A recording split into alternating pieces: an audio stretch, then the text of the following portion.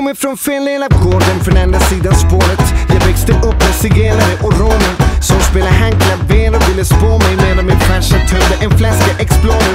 Lärde mig lira gitarr och domarkonen. Djangos kvintett spelade ut grammofonen. Med second hand kavajer i garderoben och brassband line bra men sen kom problemen. Träffade tidigt i klaveret och skattesedel Jag menar skyldigheter, rättigheter, myndigheter, rättssystem Sannolikheten är lite närmare förmedlingen medger Man kanske borde byta namn eller Sälja sin husvagn eller Knacka ut sin guldtand. Men någon gång måste fördomen hinna ikapp yeah.